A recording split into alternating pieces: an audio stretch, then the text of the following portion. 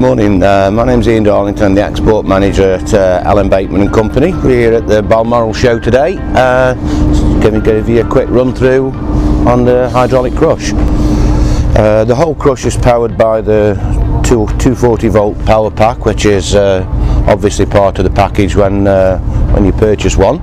Um, essentially it powers the rear gates, the front gates, the squeezing sides and the lift up chin scoop which has got various height settings uh, something we've uh, taken on board over the years listening to uh, you know many farmers.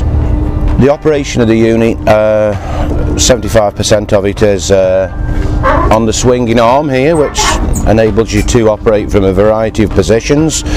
We have um, the rear gate which is closed once the animal is entered. We have the first one is uh, the sliding neck yoke and the centre one is the squeeze facility itself which keeps the animals very calm. Then we're moving on to the front section and we have the adjustable chin scoop. As I say, it basically swings away, sits clear and you're raising it up and adjusting the height as and when an animal is actually in the crush itself. Uh, Batemans have been dealing with uh, Valley for approximately four years now. Uh, the business has grown year by year. Uh, we deal exclusively with Fane Valley, so if you're needing any Bateman products, you can only get them via Fane.